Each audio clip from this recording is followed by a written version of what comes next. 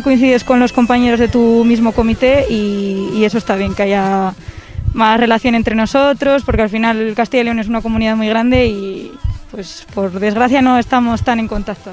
La temporada es un poco atípica por el tema del COVID, ya que los viajes ya solo es llegar al hotel, eh, cenar en el hotel y según arbitras te vuelves a casa. Pero bueno, contentas de que no, de que no haya parado, de que sigamos arbitrando y que acabe la liga.